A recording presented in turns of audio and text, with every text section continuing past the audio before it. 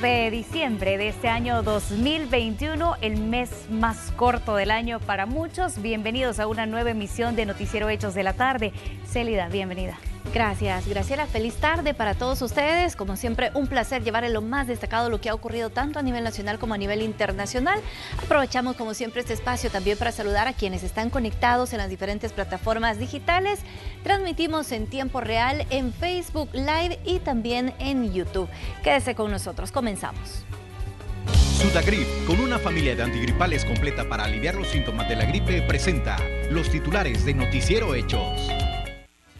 El Salvador está bajo alerta por la nueva variante del COVID-19.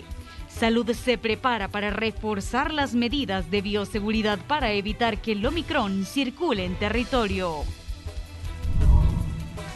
Una nueva incautación de drogas se realizó en la zona oriental del país en las últimas horas. Hay al menos cinco personas detenidas.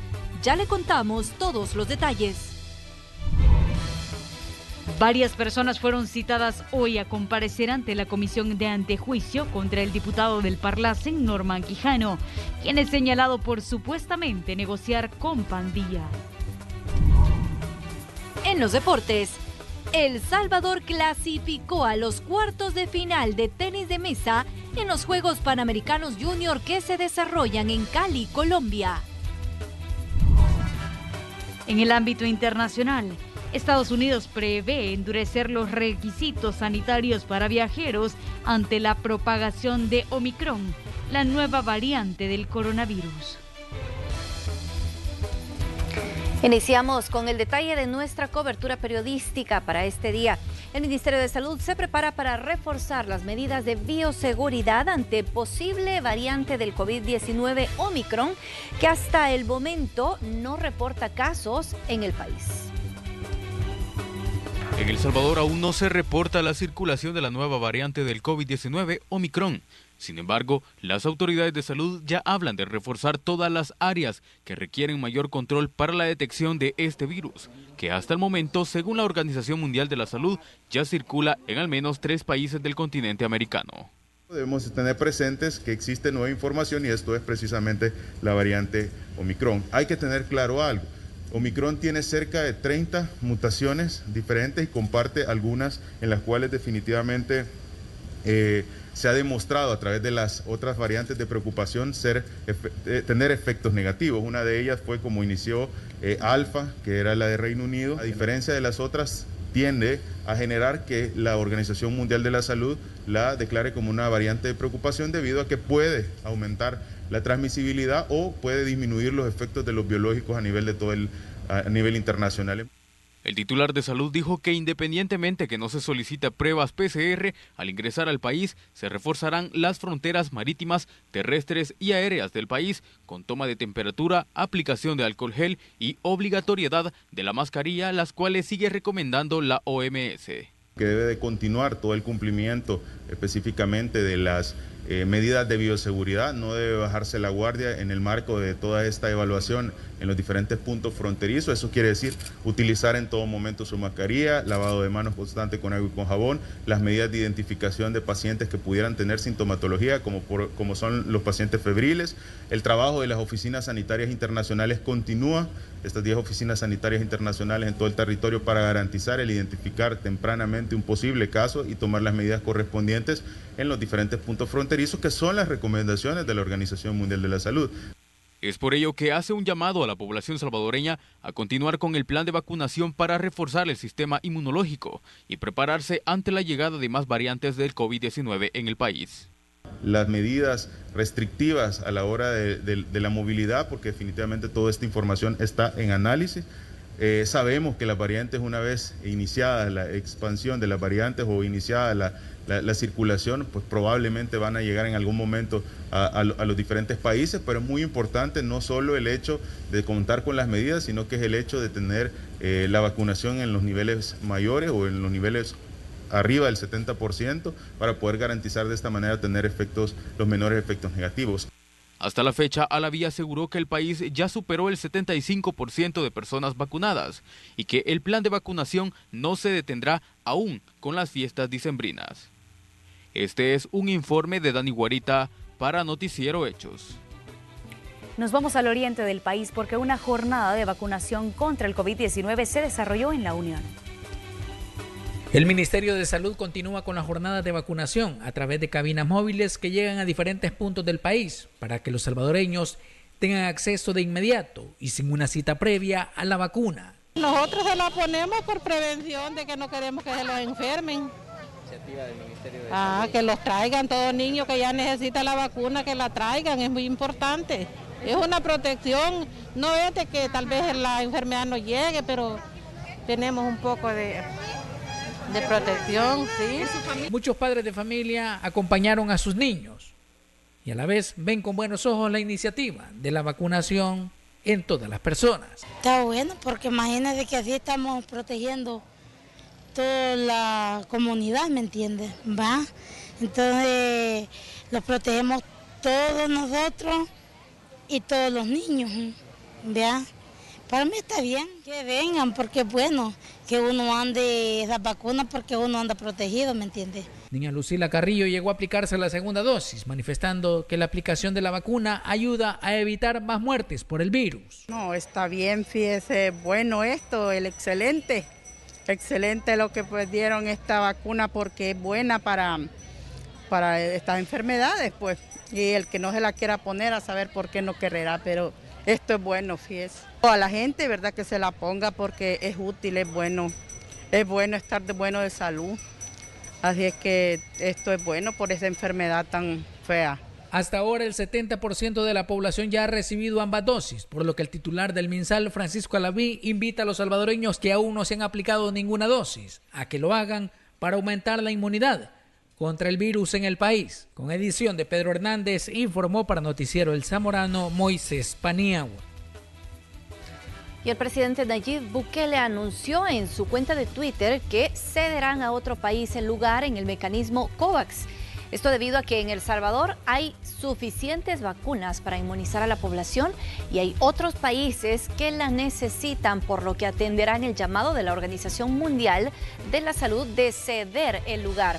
Casa Presidencial destaca que El Salvador se suma a Suiza en solidaridad con los países con menos acceso a vacunas contra el COVID-19.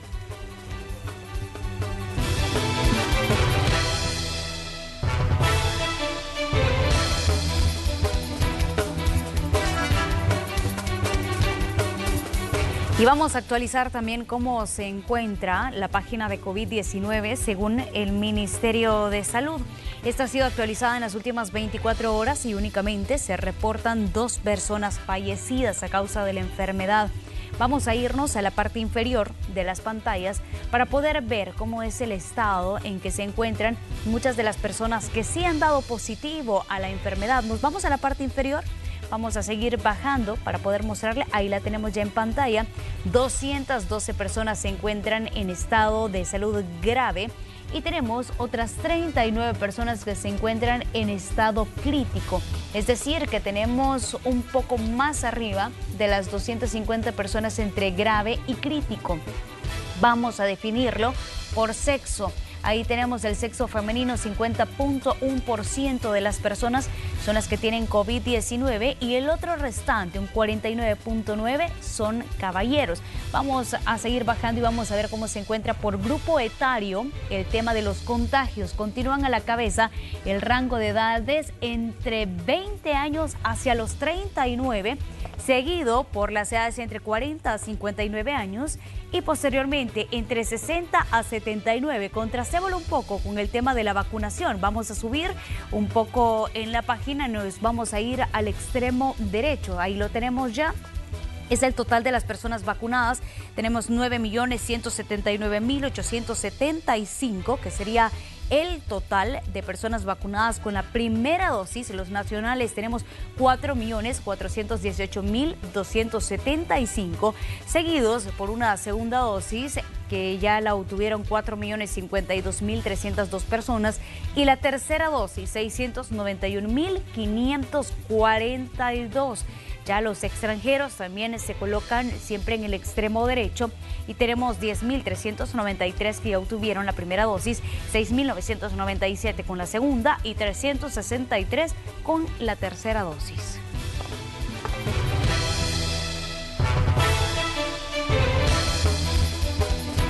Y ahora vamos a enlazarnos con el periodista Dani Guarita, que se ha trasladado hasta la zona oriental del país, donde se realizó una nueva incautación de droga. ¿Qué información nos tienes a esta hora, Dani? Buenas tardes. Hola, ¿qué tal? Buenas tardes a nuestros amigos televidentes. Es un gusto poder saludarles a esta hora de la tarde y es que me encuentro en el Tamarindo de la Unión y justamente tras de mí se encuentra en este momento el procedimiento que está realizando las autoridades de la PNC y también Fiscalía General de la República y también algunas autoridades de seguridad con respecto a la incautación de droga que se realizó la madrugada de este día eh, de este día y producto de esto pues son 3 millones de dólares el valor aproximado de 140 mil kilogramos de droga las que fueron incautadas este día por las autoridades de seguridad. Eh, ya se habla de capturas, son cinco personas, tres de origen guatemalteco y dos salvadoreños los que fueron capturados. Pero para escuchar más detalles vamos a, escuchar parte de las palabras y de lo que eh, mencionó también el ministro de Justicia, Gustavo Villatoro, con respecto al procedimiento que se llevó a cabo para lograr la captura de estas cinco personas eh, responsables de esta droga que fue incautada en la Unión en el país. Escuchemos a continuación. Este procedimiento empezó el día de ayer y ha involucrado el trabajo coordinado de nuestra Policía Costera, la División Antinarcóticos, la Fuerza Naval, la Fiscalía General de la República también fue informada sobre, sobre este procedimiento. Han intervenido aproximadamente más de 50 elementos, embarcaciones de nuestra Policía Costera y eh, al filo de, la, de las 4 y 15 horas de este día se dio la intervención en este lugar donde nos encontramos. Ya ustedes van a poder ir a apreciar el lugar donde estaba eh, el camioncito, donde estaban preparando para llevar esta, droga con destino a Guatemala. Esta es una estructura eh, que fue golpeada también hace como tres meses.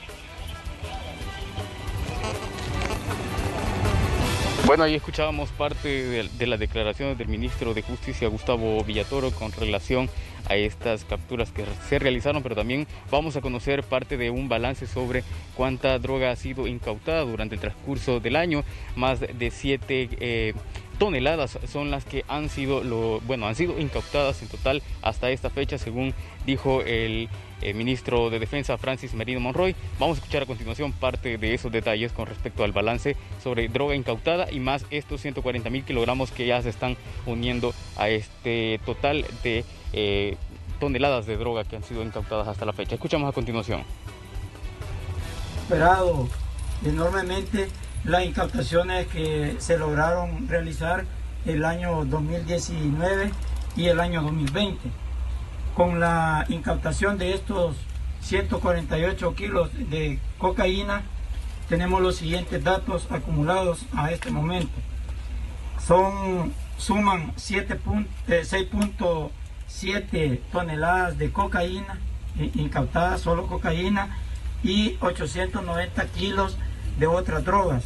Esto totalizan 7.6 kilogramos de drogas en lo que va del año y que hablando en, en cantidad en dineros están ya rondando los 170 millones de dólares.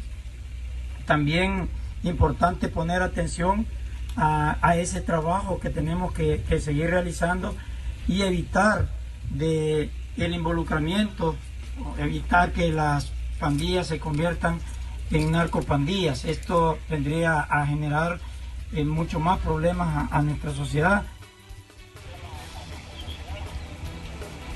Bueno, ahí escuchábamos parte de las declaraciones del ministro de Defensa, René Francis Merino Monroy, pero a continuación vamos a escuchar también al director de la PNC, Mauricio Barrias Chica, quien dio detalles sobre los nombres y la edad de estas personas. También fueron capturadas luego de serle incautado estos 140 eh, kilogramos de droga. Además cabe destacar que en un total hasta la fecha ya se tiene que 170 millones de dólares han sido incautados en 7 toneladas de droga. Vamos a escuchar a continuación parte de las palabras del director de la PNC. Estamos hablando de tres guatemaltecos y dos salvadoreños. El primero, Reginaldo Chu, de 37 años. El segundo, Manuel eh, Chamul Chulo, de 40, de 40 años, Rolando Choncu, de 35 años, de origen guatemalteco, los primeros tres, y dos salvadoreños, residentes en, en San Salvador. Estamos hablando de Marvin Alexis Martínez, de 38 años, y Ernesto Arnoldo Jaime, de 41 años.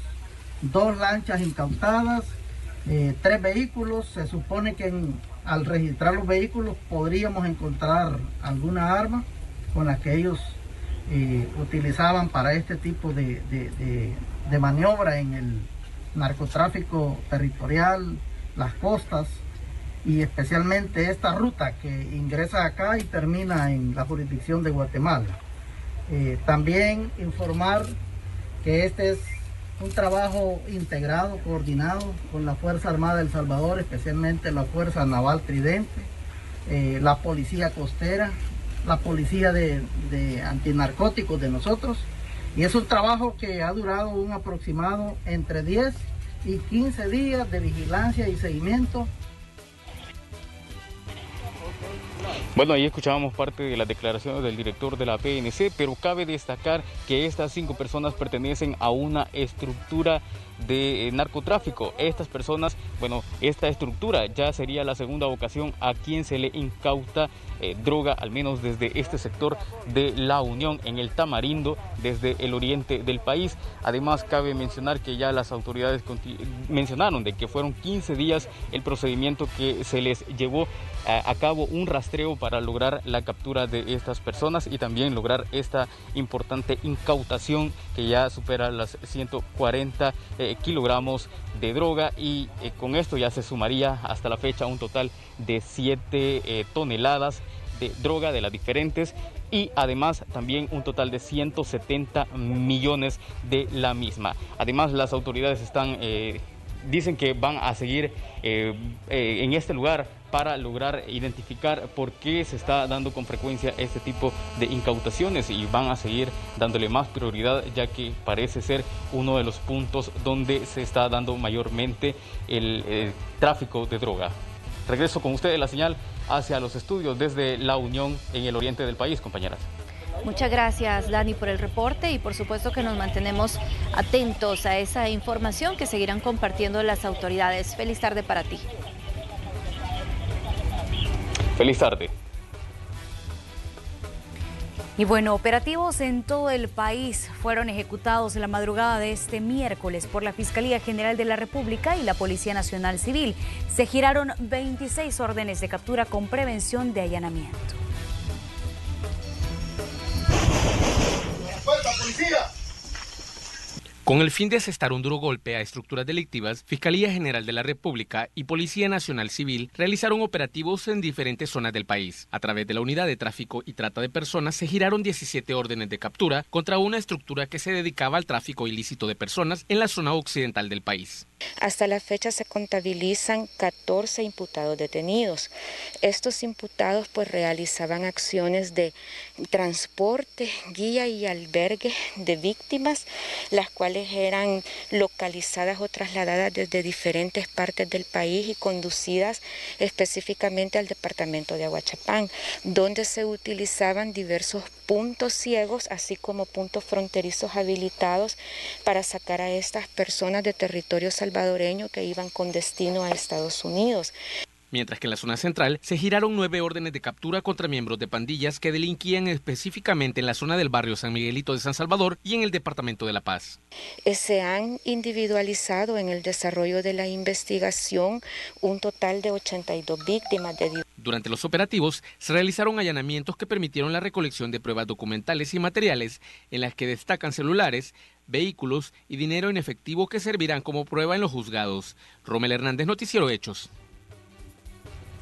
Y en temas judiciales, la Cámara Tercera de lo Penal de San Salvador ordenó recapturar al exministro de Seguridad, Mauricio Ramírez Landaverde, y a exfuncionarios de seguridad señalados del supuesto desvío de fondos en tiendas penitenciarias.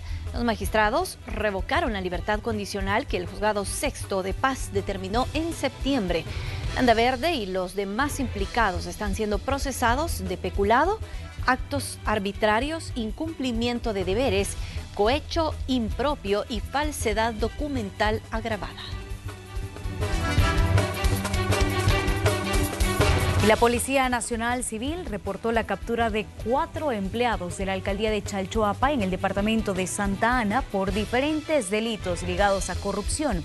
Entre estos se encuentra el tesorero de la comuna René Ramírez Macal. Él está siendo acusado de peculado.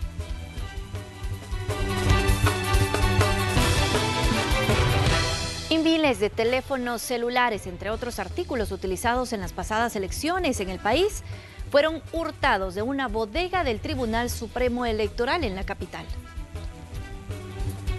Una publicación en la cuenta de Twitter de la Policía Nacional Civil anunció un hurto cometido en una bodega del Tribunal Supremo Electoral, en el pasaje Itzmania de la colonia Escalón en San Salvador. Al menos 10.000 celulares, 5.000 mascarillas y 500 cajas con extensiones eléctricas fueron extraídas del lugar, donde la corporación policial procesó la escena de este delito. Mm, bien, pero está ahí al fondo.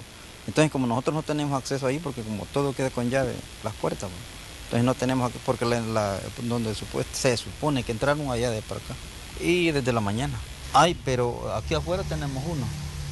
Entonces, pero como él, el control lo tiene solo el ingeniero Turcio. Tiene el control de todas las cámaras, de allá de la otra calle, de, de, fuera, porque se, se cree que por ahí es que entraron. Finalizado el trabajo de los investigadores, la policía se retiró sin brindar declaraciones de lo ocurrido. No hay detalles de cómo se extrajeron los objetos en un lugar que cuenta con cámaras de videovigilancia. No les, puedo dar detalles, no les puedo dar ningún detalle. El magistrado del Tribunal Supremo Electoral Noel Orellana aseguró que se enteró por medio de las redes sociales de dicho incidente y pide a las autoridades que se investigue para conocer el móvil del mismo. Es sospechoso, pues eh, en mi carácter de magistrado y en mi carácter personal, yo veo sospechoso que el evento eh, sucedió, según el informe, a eso de las 10 de la mañana. Nosotros nos enteramos hasta eso de las 3 de la tarde, como repito, a través de los diferentes medios de comunicación, pero serán las investigaciones las que van a arrojar este, eh, aquellos elementos que eh, justifiquen y que de alguna u otra manera puedan servir a la institución para deducir las responsabilidades penales y administrativas que el caso amerita. El magistrado asegura que en la institución nunca se había vivido una situación similar. Sin embargo, confirmó que no fue hurtado ningún equipo de alta tecnología, como el utilizado para la transmisión de resultados en los más recientes comicios. En las próximas horas, el organismo colegiado se reunirá para tomar decisiones administrativas ante este hecho criminal. Néstor Hernández, Noticiero Hechos. Y en más información, la Dirección General de Migración y Extranjería presentó el nuevo diseño de los carnet de residencia temporal y además de la residencia definitiva que comenzarán a emitirse a partir de este 1 de diciembre.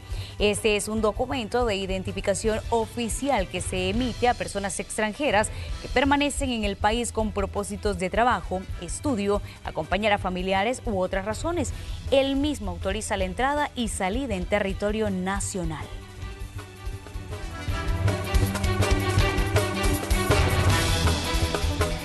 Con esa información hacemos una pausa comercial invitándole a que se quede con nosotros. Ya venimos.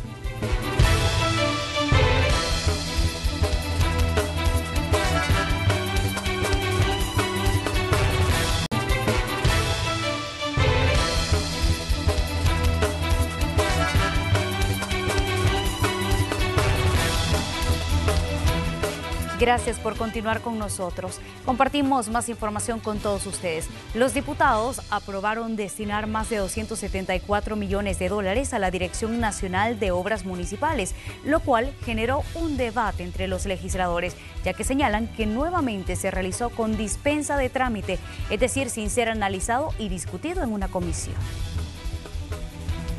Con dos abstenciones, 11 votos en contra y 63 votos a favor.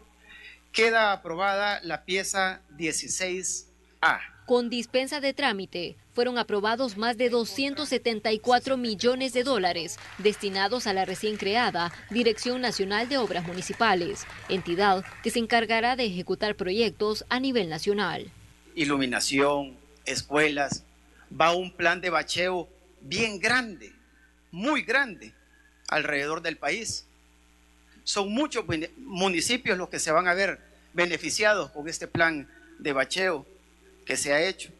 Pero algunos diputados cuestionan cómo la millonaria aprobación será distribuida e implementada en obras a pocos días del cierre del ejercicio fiscal 2021. No hay un argumento real de peso que justifique que a un mes, y como se decía acá, en el cierre del ejercicio fiscal ya ni siquiera es un mes, es menos tiempo porque las instituciones del Estado ya están cerrando el ejercicio fiscal, es materialmente imposible, a menos que hayan violentado procesos y hayan empezado a asignar recursos sin tener la disponibilidad presupuestaria. Bueno, ¿cuál es el miedo de pasar esto a una comisión y que ahí pueda ventilarse públicamente?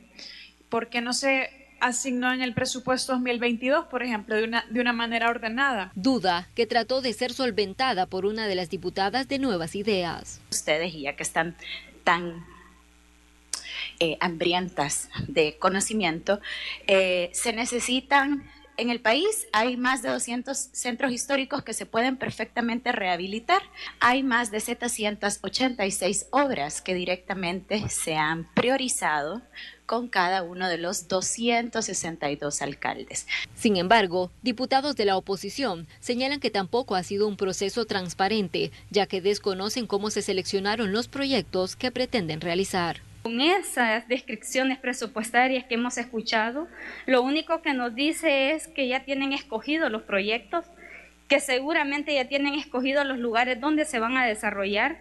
Y esto llama poderosamente la atención. Entonces quiere decir que ya tienen las empresas a quienes le van a adjudicar las licitaciones. ¿Será que vamos a caer otra vez en darle esas licitaciones a los compadres? La DOM trabajará con las 262 municipalidades, apoyo que se vuelve fundamental para las comunas, luego de la reducción del FODES, que pasó de un 10 a 1.5%. Un reporte de Iliana Leiva para Noticiero Hechos. Y varias personas fueron citadas hoy a comparecer ante la comisión de antejuicio contra el diputado del Parlace, Norman Quijano, quien es señalado de supuestamente negociar con pandillas. Para ampliarnos la información, nos enlazamos hasta la sala de redacción con la periodista Rocío Cruz, que nos tiene más detalles. Rocío, te escuchamos. Buenas tardes. Hola, muy buenas tardes. Efectivamente, este día se reunió la comisión de antejuicio en contra del diputado del Parlamento Centroamericano Norman Quijano, quien es acusado por la Fiscalía General de la República de los delitos de agrupaciones ilícitas y fraude electoral. A esta comisión se hizo presente Paolo Luers, quien dijo que él no ha interferido en ninguna reunión entre Arena y pandilleros, pero sí aceptó que él se ha reunido con líderes de grupos criminales. Escuchemos. ¿Con quiénes se reunió? ¿Qué pandilleros eran con los que estuvo? Creo que eran seis personas, dos por cada uno. Era por parte de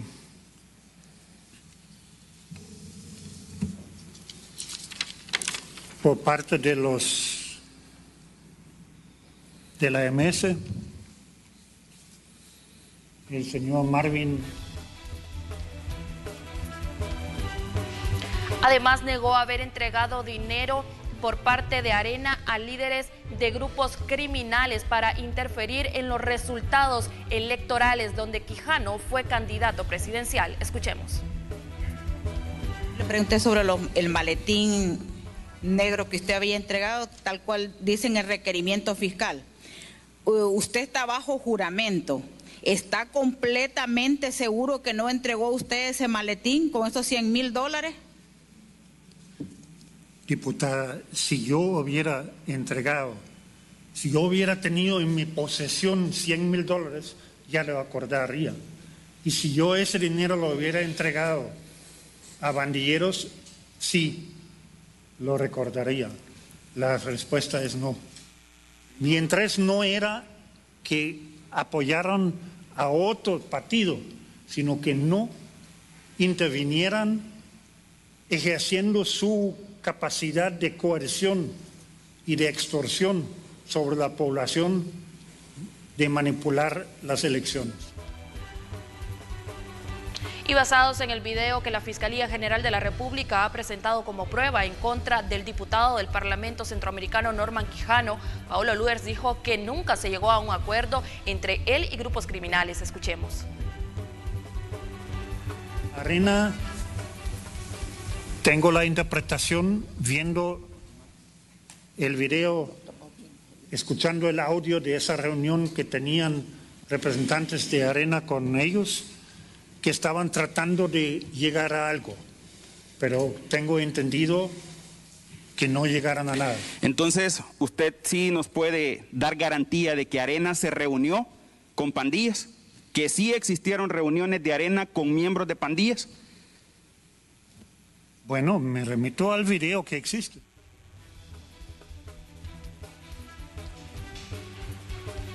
También queremos comentarle que a esta comisión se ha hecho presente el exdiputado del partido Arena, Ernesto Angulo Mila, quien ha sido señalado de acompañar al diputado Norman Quijano a reuniones con líderes de pandillas. Esa es parte de la información que teníamos para compartir con ustedes. Con esto retorno la señal al estudio principal. Muy buenas tardes para todos. Gracias, Rocío. Buenas tardes para usted. Y los diputados de la Asamblea Legislativa también eligieron los nuevos magistrados suplentes de la Corte Suprema de Justicia para que asuman el cargo hasta el 30 de junio del 2030. Los profesionales electos son Óscar Antonio Canales, Ricardo Torres Arieta, Ramón Iván García, Nelson Palacios Hernández, Henry Alexander Mejía y Alejandro Antonio Quinteros Espinosa. Esta es una elección de segundo grado por la que votaron se hizo de forma nominal y pública. El proceso estaba pendiente desde junio cuando fueron electos los magistrados propietarios. Y de acuerdo a expertos, con la emisión de los llamados bonos volcánicos se podrá pagar la deuda externa o al menos las deudas con el Fondo Monetario Internacional.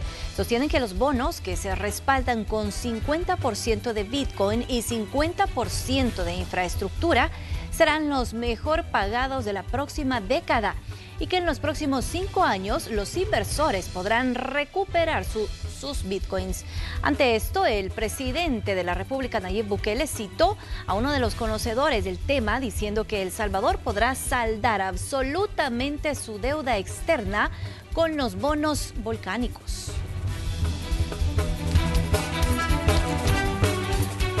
Bueno, y con el fin de sistematizar y además consolidar información en indicadores para la elaboración de planes que respondan al mercado laboral, las autoridades del órgano ejecutivo lanzaron a través del Ministerio de Trabajo el sistema de información del mercado laboral. El periodista Rommel Hernández nos tiene el detalle.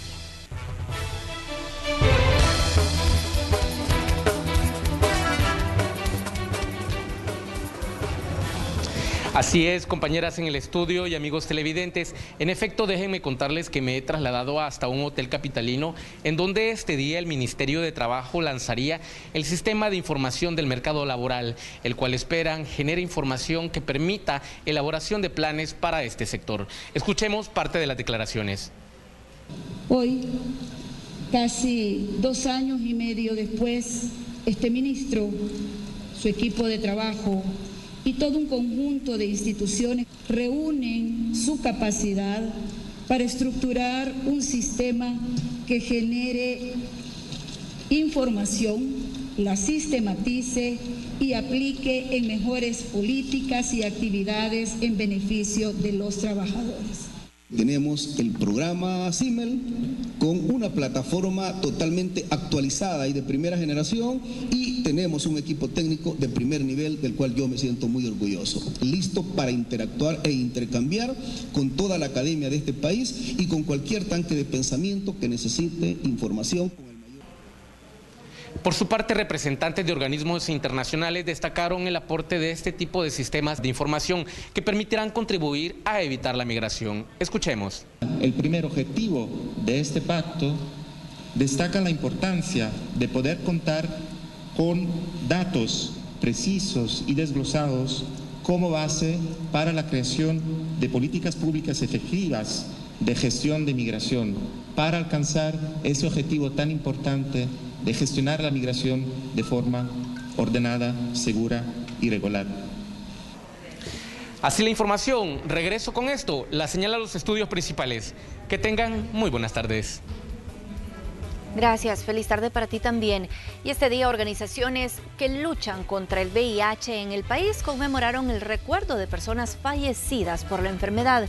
Esto se desarrolló en el marco del Día Mundial contra el SIDA. Más de 23.000 personas en El Salvador actualmente son portadores de VIH. Una de ellas es Doris, quien desde hace años fue diagnosticada con esta enfermedad. Una detección temprana le permitió iniciar el tratamiento con retrovirales y llevar una vida normal. Sin embargo, durante su proceso asegura que vivió en carne propia la discriminación, en especial en el área laboral, y cuando intentó postularse para un trabajo en el sector formal. Uno de, los procesos que en algún momento tenemos que vivir las personas con VIH es el estigma y la discriminación, el señalamiento, y no solamente a nosotros, sino que también a nuestra familia. Ese es el problema que tenemos mucho, ¿verdad? Este, en algún momento de nuestra vida eh, tuvimos, yo tuve esa experiencia de que eh, se dieron cuenta y me despidieron del área laboral donde estaba, ¿verdad? Eh, y, todavía, como usted muy bien lo dice, se sigue dando esas situaciones de violación de derechos humanos. Para su suerte, una oportunidad llegó y con ella el poder concientizar en la importancia de detectar la enfermedad a tiempo y disminuir así factores de riesgo, desde la dirección de la Red Salvadoreña de Personas con VIH en el país. Ellos y otras organizaciones este día conmemoraron a las personas que han fallecido a causa de esta enfermedad. El empoderarme también en el tema de VIH me ha dado la oportunidad de estar eh, dentro de la organización como directora, pero ¿qué pasaría si yo no estuviera allí. Me pregunto, ¿tuviera posibilidades de accesar a un, a un trabajo digno, con un salario digno, sin estigma y discriminación? Difícilmente. A lo que nosotros hacemos desde las organizaciones de personas con VIH también es que las personas que aún no se acercan a un establecimiento de salud, acercarlo, ¿verdad? Para que estos ya eh, inicien la terapia antirretroviral. Porque si bien es cierto, sabemos de que para eh, para los costos económicos, si una persona se enferma, es más, es más costoso pues que eh, ya tomar medicamento antirretroviral. El procurador para la defensa de derechos humanos aseguró que velan porque se respete la integridad y derechos de personas portadoras del virus VIH, en especial en los empleos. Nosotros lo que estamos haciendo es que hemos iniciado procesos formativos este año con UNOSIDA y eh, Plan Internacional para que sensibilizar al operador de que cuando van a atender a una persona viviendo con VIH, pues debe entenderla de igual manera que su madre con cualquier otra. ¿Qué pasa con aquellas empresas que exigen la prueba de VIH y de alguna forma limitan a las personas en las áreas laborales? Eh, totalmente ilegal, no es, una, no es una eh, exigencia que esté prevista en la ley y nosotros en este caso, como nuestro mandato nos lo indica, es acudir o eh, pedir al Ministerio de Trabajo que se actúe y que realice las inspecciones respectivas. Dentro del marco por el Día Mundial de la Lucha contra el SIDA, las organizaciones realizaron pruebas de sangre gratuitas de VIH y aseguraron que en la actualidad El Salvador cuenta con un buen sistema de salud y tratamientos retrovirales a personas detectadas con VIH, inclusive dentro de centros penales. Aldair Tadeo, Noticiero Hechos y un hombre identificado como Johnny Aldair Castillo de 25 años de edad murió tras ser embestido cuando viajaba en su motocicleta. Esto en las cercanías del cantón San Luis Marión en Cuscatancingo. Y es que según testigos, un pickup lo impactó mientras huyó de la escena. Lamentable porque es una persona, ¿verdad? Que posiblemente familia lo puede haber estado esperando y, y hasta ahí llegó el día de hoy. De noche que no se mira mucho, sí, sí se pone peligroso. ¿Es común que se den? Sí, es bien común, aquí es bien común seguido. Porque en sí, como la carretera una no está marcada y otra que la gente no, tiene el respectivo cuidado, ¿verdad? Siempre pasan accidentes, sea de día o, parte de la noche. Por parte, de, este, más que todo, por eh, no está señalizada la vía. más que todo las, las curvas peligrosas. Entonces, esos son los accidentes, pues, que, que ya hace, ya, bueno, yo tengo seis años de estar por acá y, he visto muchos accidentes en esta misma, en esta misma trayecto de la calle, del, del Herrera a la San Lucas. Gran consternación ha generado en San Luis la herradura, la muerte de casi una veintena de perros en los últimos días. Un equipo de Noticiero Hechos viajó hasta esa zona del departamento de La Paz para conocer más de esto que ha ocurrido. Bueno, a mi parecer, yo pienso que es una cosa mala lo que están haciendo, ¿verdad? Pecado lo que han hecho, le dije yo. Son varios perritos que han matado. Personas que viven en el lugar conocido como La Zarcera en San Luis La Herradura, La Paz, condenan el asesinato de aproximadamente 15 perros de la zona en los últimos días. La dueña de uno de ellos dice que fueron envenenados y que no existían motivos para que le quitaran la vida a su mascota. Vaya, le dicen que porque son callejeros, callejeros no son porque están, cuando ven perritas ellas se van pues lejos, va. Y le digo, no, pecado lo que han hecho, le dije yo, pues sí, hacer eso, le digo yo, porque los chuchitos no tienen la culpa. ¿Uno de esos era suyo? Sí, es uno, hermano de ella, así, está como es, ya. como es. Y le dio pecado, le dio, pero a Dios le dejan las cosas. Otro argumento que tienen los lugareños es que buscan incrementar los robos de ganado y debido a que los perros alertan este tipo de situaciones, han decidido asesinarlos. En el último hecho, fueron siete los caninos encontrados muertos a la orilla de la carretera, lo que ha causado consternación en los habitantes. Pero los han dicho que a nosotros que posiblemente hagan posible robo de ganado, no sé y uno estaba amarrito, amarrado de las patitas y el otro estaba amarrado de la nuca. Ahí fue que yo los vi a ellos, eran siete, era un negrito y eran los otros eran de... Bueno, a mi parecer yo pienso que es una cosa mala lo que están haciendo, ¿verdad? No tiene que ser así porque los animalitos tienen derecho a vivir igual que uno. Ayer vi de siete que estaban atirados, pero que fueron a aparecer otros dos muertos aquí por el otro puente. En la Asamblea Legislativa se discute una propuesta para reformar el Código Penal y castigar este tipo de hechos con penas de hasta cuatro años de prisión iniciativa que recibe el aval de la población de ese municipio por los constantes hechos de maltrato animal que se dan en el lugar.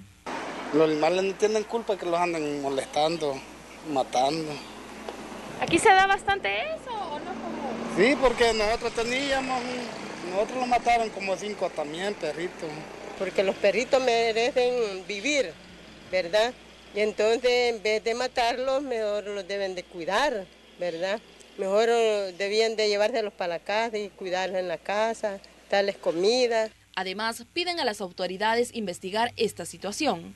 Intentamos hablar con el encargado del medio ambiente de la alcaldía de San Luis La Herradura, pero se negó a dar información.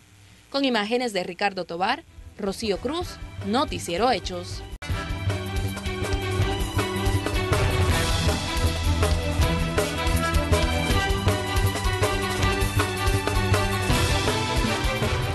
Bueno, y en la sección Negocios Hechos vamos a conocer el emprendimiento de un salvadoreño que se ha dedicado al arte pictórico por más de 15 años. Pinturas, pinceles y lienzos son las principales herramientas que necesita Francisco Sánchez para poner en marcha su creatividad, con más de 30 años de dedicarse a este arte con el cual ha logrado mantener a su familia.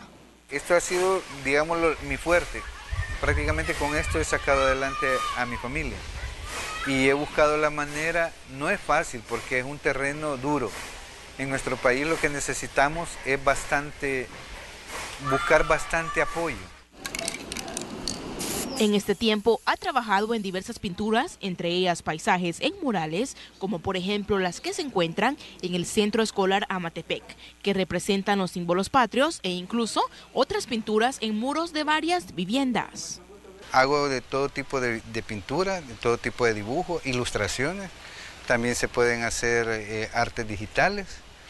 Eh, me pueden ustedes buscar también en redes sociales como Fran René Sánchez y pueden también, tengo una página en Facebook que se llama Rótulos y Artes. E incluso su trabajo ha pasado nuestras fronteras. Tengo murales tanto dentro como fuera del país. Tengo unos en Guatemala, otros por aquí por el lado de México. Tengo otros aquí por el lado de Costa Rica, Nicaragua, eh, Honduras, he ido a hacer cuadros, no murales, pero sí seguimos desarrollando y pues aquí a nivel interno, a nivel de nuestro país, en varias partes de nuestro país, oriente, occidente, eh, donde nos llamen, pues ahí estamos a la orden.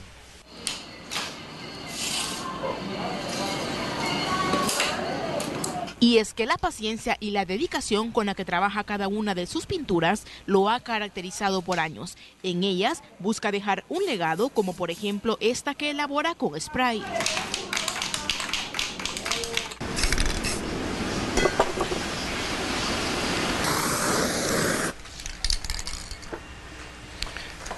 Vaya, de esta manera queda sellado lo que es el cuadro con el fuego para evitar de que quede fácil de tocar o de, pegarse y así de una sola vez nos permite lo que es terminar la técnica de aerografía. Y como se trata de una forma de hacer negocios, tomando en cuenta que la pandemia del COVID-19 paralizó a los emprendedores, Francisco insiste en la importancia de apoyar este tipo de arte para formar a futuras generaciones. Apoyando en eso, porque ya que en algún momento se abren los sectores, pero no a todos. Entonces buscaríamos quizás esa, esa situación de ser apoyados un poco más, eh, buscando la manera de poder dar desarrollo nosotros como agente de desarrollo también para tanto para la comunidad como para la sociedad. El sueño de este emprendedor es crear su propia academia para seguir creciendo y formar a nuevos pintores en el país. Con imágenes de Juan Castellanos para Negocios Hechos, Jennifer Flores. Y cada 1 de diciembre se conmemora en El Salvador el Día del Payaso y varios de estos artistas se concentraron hoy en el Parque Centenario de la capital para desfilar hasta el centro de gobierno. esta peculiar concentración también asistieron payasos de Honduras y Guatemala. Para mí ser payasita es lo mejor, porque lo más grande es que los niños le digan, ¡ay, qué linda la payasita! ¡ay, qué bonita! Y eso es lo que más me gusta, ver la sonrisa en los niños y en los ancianos y en los grandes, pasarla de lo mejor. Y ser payaso es algo muy especial. Para mí, verdad, que ya soy payaso desde cuando tenía seis años, ¿verdad? Ya que uno anda tal vez con un dolor dentro en su corazón, ¿verdad? Pero siempre tiene que hacer reír y siempre un payasito tiene que andar alegre y contento y hacer sonreír a los niños. Y en Santa Rosa de Lima, los cuerpos de socorro ya están listos para atender emergencias en la temporada de Navidad y fin de año. Cruz Roja Seccional Santa Rosa de Lima se prepara para efectuar su plan durante el mes de diciembre, monitoreando el centro de Santa Rosa de Lima, Redondel San Carlos Pasaquina, Bañario Obra de Dios, entre otros sectores. Ya estamos elaborando y ya concluyendo con el plan eh, que vamos a lanzar ya este a partir del mes de diciembre, en lo cual nosotros como Cruz Roja Seccional Santa Rosa de Lima, dentro del plan que llevamos, eh, una de las, de las razones siempre a tener siempre el puesto de socorro en San Carlos, el otro en la seccional y unos desplazados en lo que es la obra de Dios, un puesto de socorro en la obra de Dios. Y esas son que van contemplados durante el plan eh, Belén, que ya se va a echar a en este mes. Y verdaderamente nosotros también, aparte de eso, vamos a tener que un monitoreo constante donde bomberos ubique eh, la venta de pólvora en el municipio de Santa Rosa de Lima, porque aún no se ha determinado el lugar. Están evaluando varios lugares ellos en los cuales vendrán tal vez esta semana, en lo cual ellos dirán el sector. Entonces, en ese sector nosotros vamos a estar desplazando personal siempre a estarles mm, dando las recomendaciones, aparte de las instrucciones que ya recibieron de bomberos y la capacitación que recibieron de ellos.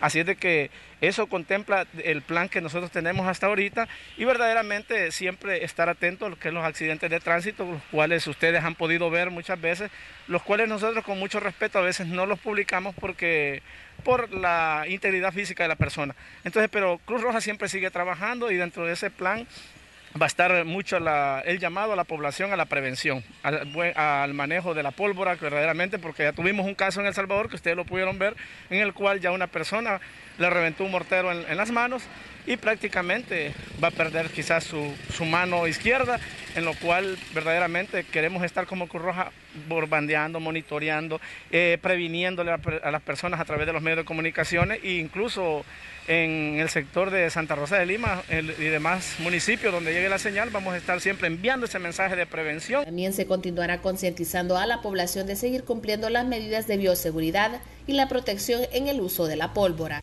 Podemos ver que en Santa Rosa de Lima ya son las dos últimas semanas de, de antes, una semana antes del 24 siempre comúnmente los supermercados, los bancos, todos los centros financieros están aglomerados y siempre vamos a estar haciendo este, una rotación en esos sectores, eh, advirtiendo a la gente también que no olvide que siempre luchamos con lo que es la pandemia del COVID, o sea, porque esto no nos va a hacer que nos descuidemos solo porque ya tengamos las tres vacunas, sino al contrario, siempre seguir con la prevención. Recordemos que muchas personas aún todavía no les ha dado COVID y nosotros esos días vamos a tratar de de andar este, concientizando a las personas en el centro de Santa Rosa de Lima. La población deberá tomar todas las responsabilidades de las diferentes actividades que efectúen durante este mes festivo.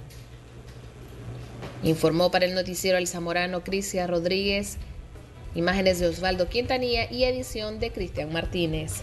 Y así concluimos esta entrega de Noticiero Hechos. Gracias a usted por habernos acompañado. Muy buenas tardes.